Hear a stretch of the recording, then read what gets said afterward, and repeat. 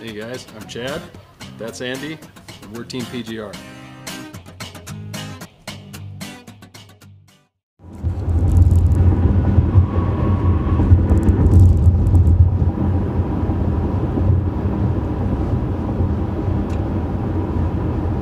Is this thing on?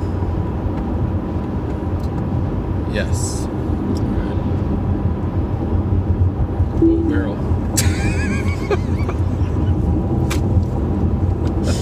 All right, so the first thing that you saw there was me steering autopilot away from a construction barrel.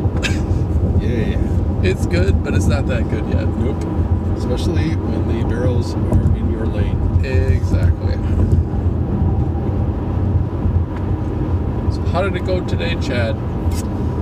Uh, well, today, Road America. Uh, Road America is like racing on a ski hill where the cars are going down and then they have to turn at the bottom. So it eats brakes. And it ate our rear brakes. Anybody who watched the tech video would know that I had to kludge with a capital K some stock rear brakes onto the racing brake rotors, and the whole time I was doing that, I thought these are going to last about three laps at Road America, and they lasted about two and a half laps at Road America. You were pretty close. I think it's a pretty good guess, actually. And and while they lasted, they broke quite well. Yeah, yeah. So hey, kudos to you. If So, anyone, and you, you, you, uh, you made, you know, you made par yeah, the brakes at Road America. par. Go.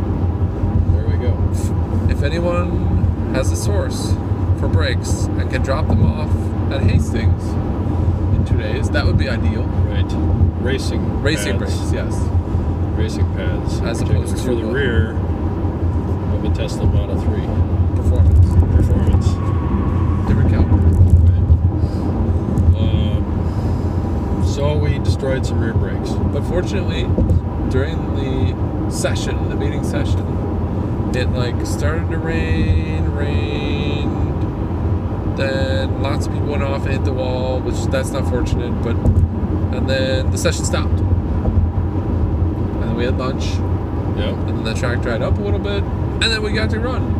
Yep. So even though we nuked the brakes, I coasted into a few of the corners because it's really fast. I didn't know what I was doing, and uh, we were in a run group that was fairly slow. It didn't matter. We still got 11. So there you go. Yeah, 11. 11 of, I don't know, there's probably 70 cars left running. Maybe. Something like that. So that's very good. Um, so, yes, Road America. And Roll relative. hey, you know what else we found out today? You can drive Road America without using your brakes and still beat half the field. and still be. well, we probably shouldn't broadcast that. It's not real sportsmanlike, but that's what happened. it was something. It wasn't technically complete without brakes. Right. four times per lap for one second or five times per lap Yeah. for one second. And I was almost as fast as I was in the morning, so There you go. clearly the moral of the story is brakes just slow you down. Yep. Carry speed everywhere. But the car is good. We're still learning the car. Uh, the car's very fast. And Andy tells me that Road America is very fun. Super fun. I would like to go back tomorrow. But we'll go to Brainerd instead, because that's where the, Yeah. the actual race is going. Right.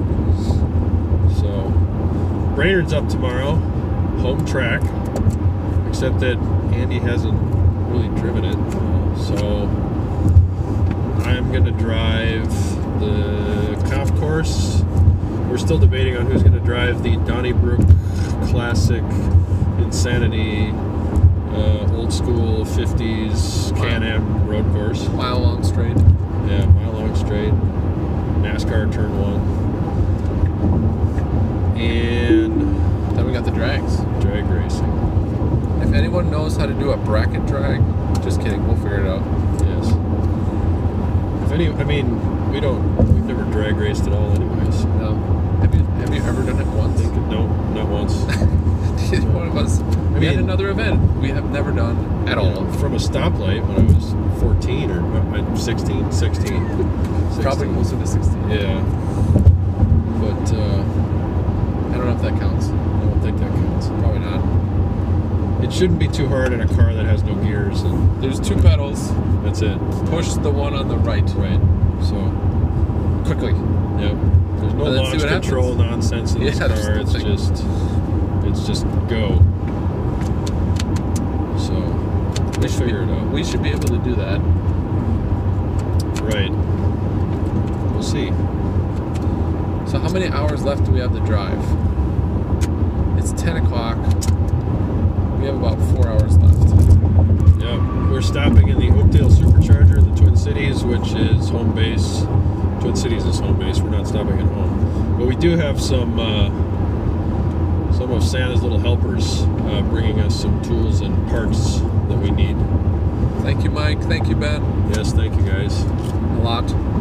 very much. Um, and then uh, the car owner gets to see the uh, immaculate shape that we've kept the car in in a couple of hours as well, or maybe in the morning. Yeah, probably in the morning. So, but we haven't uh, we haven't wrecked it yet. We haven't bend it. There was no bending today. No binning today. Some some other people's did bend. It's a sad situation, but we did not bend it. Yeah, Road America is just gnarly. Road America is what physics two was for me in college. It was just a weeding out class. So, But that's the thing about the one lap. Every event is a weeding out event. right. I think Road America's, like I said, that that Yeah, it uh, is. freshman year course where they really get rid of the the. Uh, Yeah. the overzealous or not worthy. But uh, kind of tough. Cool. Anyway, not much else going on other than we got to stay awake and get there. We will. Actually, we might see a few of you at the track tomorrow. Some people are coming up. So, yes. Looking hopefully- forward to seeing anybody that comes out. Yeah. Hopefully, we'll see you at the track. All right. See you later.